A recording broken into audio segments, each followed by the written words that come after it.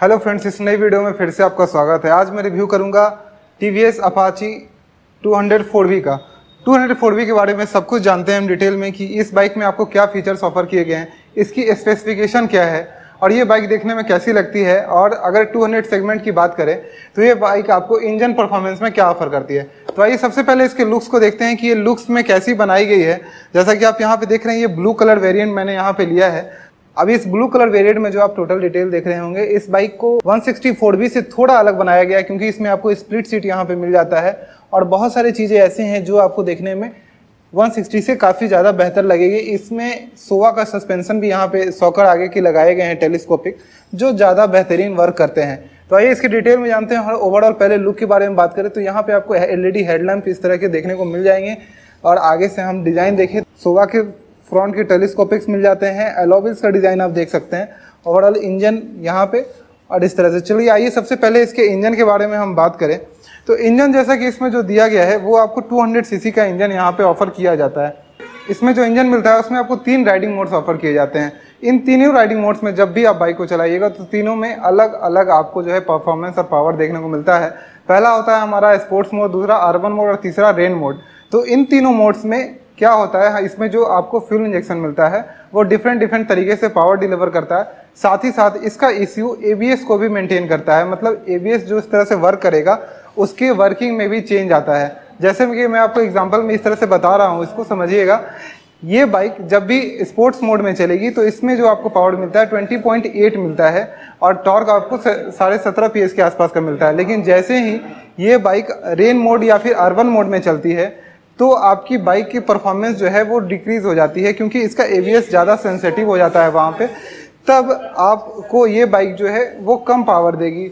कम power देगी और कम torque देगी। क्या होता है एक्चुअली ये एवीएस जो है सेंसिटिव हो जाता है। जैसे जब भी आप रोड आर्वर मोड में चलाइएगा तो एवीएस जो है वो कम से न्यूनतम पे होता है मिनिमाइज पे हो जाता है। तो आप जल्दी जल्दी पिकअप ले सकते हैं। पिकअप में परफॉर्मेंस में वहाँ पे कहीं ना कहीं इंक्रीज हो जाता है। तो ये बात हो जाती है इस बाइक में, अगर आप इसको लेते हैं तो। साथ ही साथ इस बाइक में आपको पाँच गियर ट्रांसमिशन मिलते हैं और स्लीपर क्लच भी मिलता है। तो स्लीपर क्लच लगभग 22 परसेंट आपके बाइक के स्ट्रेस को कम करता है। जब भी आप बाइक को चलाइएगा तो चलाने के समय, जब भी डाउन शिफ्टिंग के समय, जब भी बाइक में हार्सनेस आती है इंजन में हार्सनेस आती है तो उन चीज़ों के कम करता है अगर आप स्लीपर क्लच का इस्तेमाल करते हैं किसी भी बाइक में। तो वो चीज़ आपको इसमें मिलती है, वो आर्टिफाई रेस ट्यून स्लीपर क्लच भी इसको कहते हैं। अगर कूलिंग सिस्टम की बात करें तो इसमें आपको मिलता है air cooled plus oil cool system oil cool यहाँ रेम एयर असिस्ट होती है, जिसमें इंजन ऑयल आता है, फिर से अगर चलती बाइक है तो ठंडा होगा, फिर से चली जाएगी। हाँ इन द केस की खड़ी बाइक में इस बाइक कैसी ठंडी होगी? तो ये जिस तरह की बाइक का डिज़ाइन किया गया है मोस्टली केसेस में जब ये बाइक ट्रैफ़िक में होती है तो उस समय खड़ी नहीं होती है। अब ट्रैफ़िक में होती है तो इसमें एक चीज़ आपको और ऑफ़र किया जाता है, जिसको जीटीटी कहते हैं, जिसमें आपकी बाइक फ़र्स्ट गियर पे बिना एक्सीटर लिए सिर्फ़ क्लच की सहायता से आप सेवन के स्पीड तक सेकेंड गियर में ट्वेल्व की स्पीड तक और थर्ड गियर में सेवनटीन के, यानी सत्रह के स्पीड तक चला सकते हैं।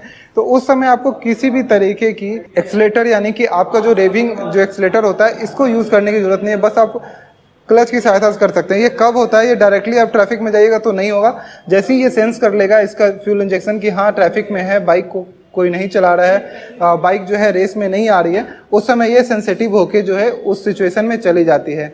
तो ये चीज़ें हो जाती है इसके इंजन में और इसके इंजन में भी आपको किक स्टार्ट नहीं मिलता है। मैं आपको यहाँ पे दिखा दे रहा हूँ। क्योंकि 200 सीसी और इस सीसी सेगमेंट में आपको किक स्टार्ट कोई भी कंपनी यहाँ पे ऑफ़र नहीं करती है।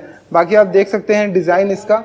और इसमें और चीज़ जो खास मिल जाती है इंजन में, वो है इसका फ्यूल इंजेक्शन। फ्यूल इंजेक्शन इसमें बोस का लगाया गया है। बोस का फ्यूल इंजेक्शन सबसे बेहतरीन माना जाता है। अगर किसी भी इंजन की बात करें तो उसमें बोस का फ्यूल इंजेक्शन सबसे बेहतर माना जाता है कि वो पावर डिलीवरी करने में या फिर अगर आपकी बाइक कभी भी लॉन्ग टाइम पे चल रही है तो उस सिचुएशंस में आपको सबसे बेहतर माइलेज के लिए और एक अच्छा परफॉर्मेंस डिलीवर करता है।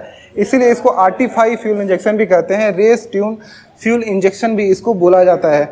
अगर इसकी बात करें ओवरऑल डिज़ाइन की तो एलईडी हेडलैम्प्स हेडलैम्प्स में आपको यहाँ पे, ये रात में ऑन होने पे ज़्यादा अच्छा लगे जैसे कि मैंने की ऑन किया तो यहाँ पे आप जैसे देख सकते हैं एलईडी डीआरएल्स इस तरह से कुछ ऑन होके दिखेंगे।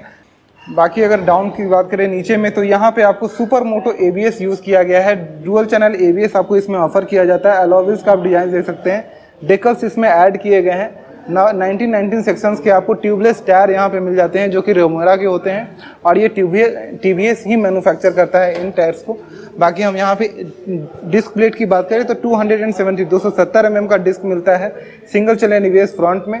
सोवा के सॉकर्स मिलते हैं, इसके कलर को भी गोल्डन कलर में रखा गया है, और यहाँ पे भी एक कॉल दिया जाता है। तो ये देखने में थोड़ी सी स्पोर्टी लगती है। इसका विथ यानी कि चौड़ाई जो है वो थोड़ा ज़्यादा मिलता है। अगर आप 160 से कंपेयर करें तो या फिर कई बाइक्स ऐसी हैं जो मार्केट में 200 सीसी में आती हैं, लेकिन उसके सॉकर्स की चौड़ाई जो है टेलीस्कोपिक्स की, वो थोड़ी कम है। लेकिन वो यहाँ पे आपको ज़्यादा देखने को मिल जाती है।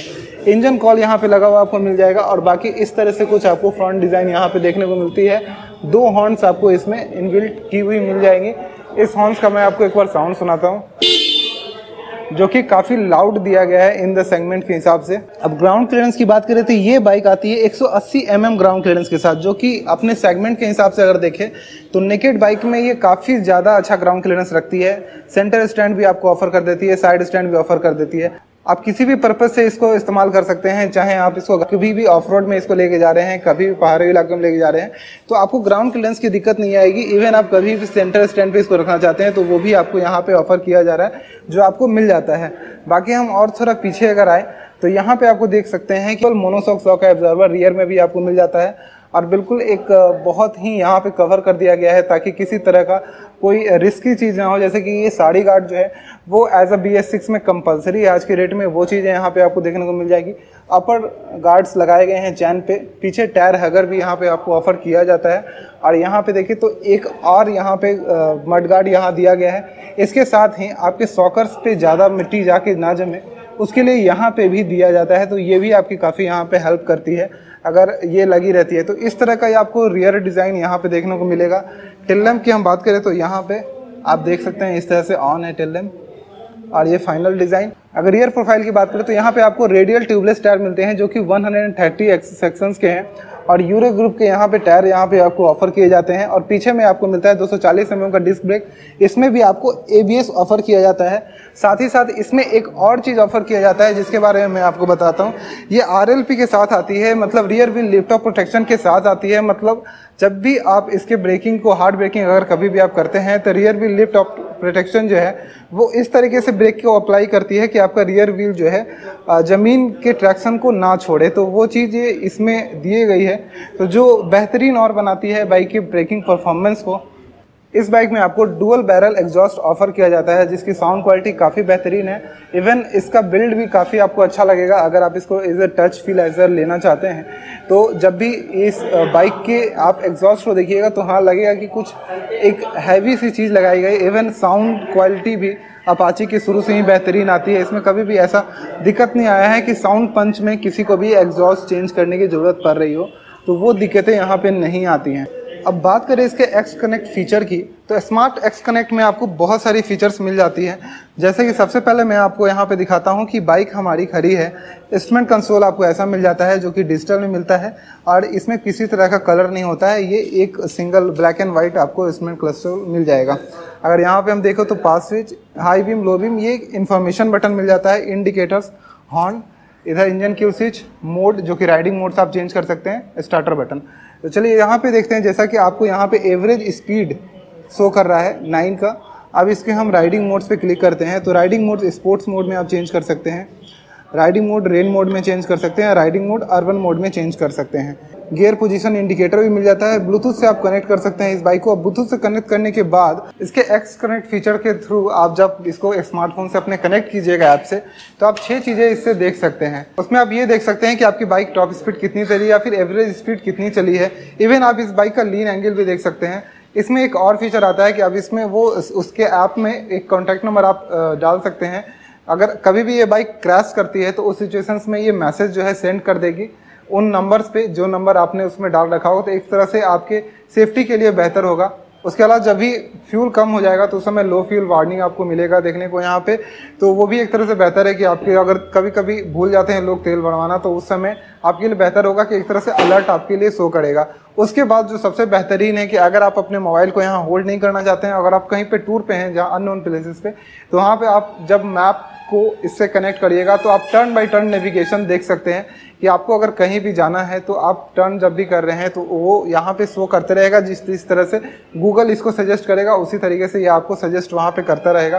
तो एज अ नेविगेशन के तौर पे आप इसको इस्तेमाल कर सकते हैं, और कॉल और एसएमएस भी आएगा। तो बाकायदा उसका नाम शो करेगा, जो फ़र्स्ट नेम होगा उस कॉलर का, वो नेम यहाँ पे आपको शो करेगा कि वो किस नाम से कॉल कर रहा है या फिर किस नाम से मैसेज आया हाँ वो मैसेज कॉल आप रीड नहीं कर सकते हैं। तो इस तरह से सारी चीज़ें आपको इसमें एक्स कनेक्ट फीचर के थ्रू मिल जाया करती है। अब इसकी सीटिंग कंफर्ट की बात करें तो जैसे कि ये बाइक आती है 152 एक सौ बावन के की बाइक आती है।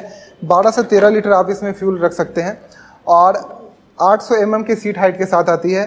सीट हाइट आपको इतनी मिल जाती है कि एज अ 5.5 इंच से कोई भी इस बाइक को अगर चाहे तो चला सकता है।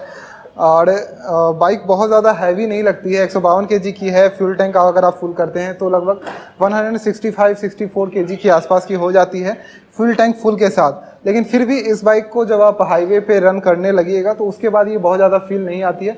हाँ लोकल्स में ऐसा आपको ज़रूर फील होगा कि ये बाइक हैवी है लेकिन आ, ये बाइक एक्चुअली रेस टैक्स के लिए भी बनी है। और 5.6 इंच को तो कोई दिक्कत नहीं होगा। उससे नीचे वाले लोगों को दिक्कत होगा। जिनकी हाइट कम है, उनके लिए ये प्रॉब्लम है। जिनकी हाइट सही है, उनके लिए ऐसी ये ये पूरा टॉपिक ही बेकार है। उनको ऐसा कोई भी दिक्कत यहाँ पे नहीं आने वाला है।